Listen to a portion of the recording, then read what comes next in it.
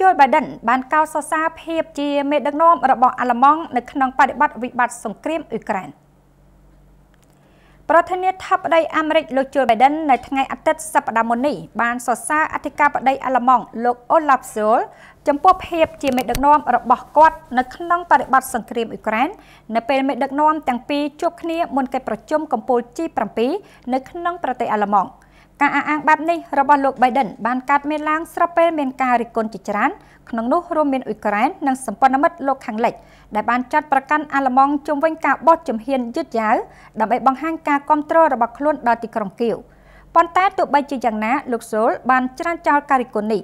ស្របពេលជាមួយគ្នានោះដែរលោក Biden បានសរសើរការដឹកនាំរបស់លោកសូលក្នុងនាមជាប្រធានក្រុមប្រទេស G7 បច្ចុប្បន្ននៅពេលមានភាពចលាចលនៅអឺរ៉ុប ដែលបណ្ដាលមកពីសង្គ្រាមរុស្ស៊ីនិងការដួលរលំសេដ្ឋកិច្ចពិភពលោកជាបន្តបន្ទាប់ប្រធានាធិបតីអាមេរិករូបនេះបានសង្កត់ធ្ងន់ថាលោកពូទីនតែងតែសង្ឃឹមថាអង្គការ NATO និងក្រុមប្រទេស G7 មានការបែកបាក់គ្នាតាមមធ្យោបាយណាមួយប៉ុន្តែយើងមិនបានបែកបាក់ទេ ហើយយើងក៏នឹងមិនបែកបាក់ដែរ